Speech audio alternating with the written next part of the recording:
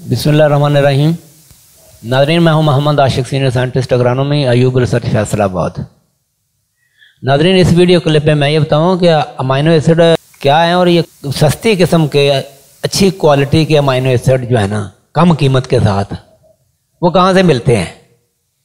देखें, ये तो आप जानते हैं कि अमाइनो एसिड जो है ना, ये तैयारशुदा लामियाती तुरशे ही हैं। खुराक ही है, जो पौधों की खुराक है।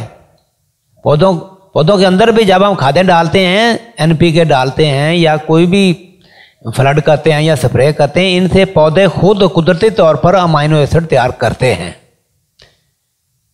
इसलिए जिन खेतों को, गंदम के जिन खेतों में मतवाजन खुराक डाली गई है, वहाँ पे अजाफी तौर पर अमाइनो एसिड स्प्रे करने की ज़रूरत नहीं है। लेकिन अब कंपनियों ने काश्तकारों को इस महँगाई के दौर में इस काम पे भी लगा लिया हुआ है कि बस ये प्रोडक्शन टेक्नोलॉजी का हिस्सा है। नहीं, ऐसा नहीं है। देखें, आप मतवाजन खुराक डालते हैं तो फिर तो अजाफी तौर पर डालने की ज़रूरत बिल्कुल नहीं है।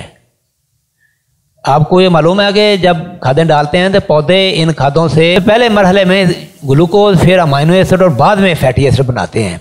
तो अब मुख्तलिफ़ कंपनियाँ क्या करती हैं कि इधर अकबरी मंडी से ही लेके जो चाइना से बड़े बड़े इंपोर्टर पड़े हुए हैं, अकबरी मंडी में, वहाँ से ले के ये खुद उनको पैक करके है सच भी मार्केटिंग करते हैं, बाद उसको एनरिच भी करते हैं, उसके अंदर सी वीड एक्सट्रैक्ट मिला लिया एन पी के या माइक्रो न्यूट्रिएंट्स भी मिला लेते हैं।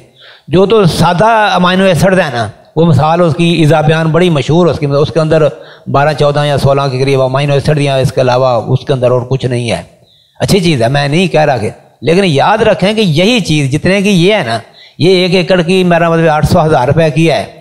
यही चीज़ अगर अकबरी मंडी से मैं अभी आपको रबता नंबर भी बताता हूँ। बेशुमार लोग हैं, एक दो नंबर मैं दे देता हूँ जो कि ईमानदार, ताजर हैं। उनसे आप आधी कीमत पे ले सकते हैं, आपको घर बैठे वो सप्लाई कर सकते हैं।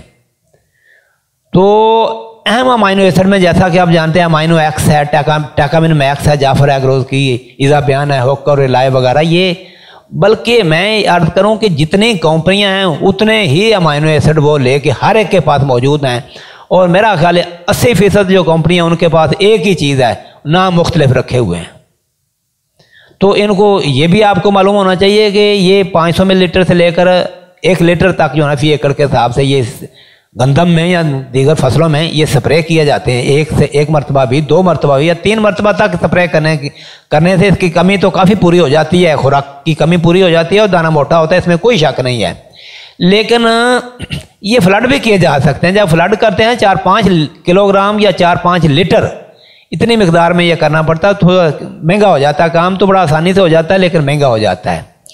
तो इस वीडियो की डिस्क्रिप्शन में मैं उन अकबरी मंडी के, चंद एक ताजरों के नाम नंबर भी दूँगा, ताकि आप उनसे फ़ोन पे बात करके मेरे मेरे कई बड़े बड़े काश्तकार हैं जो डायरेक्ट उनसे मंगवाते हैं और इंतहाई सेटिस्फाइड हैं। ये आपको महँगे अमाइनो एसिड से जो है ना, जो कंपनियाँ सेल करती हैं, इनसे आपकी जान छूट सकती है।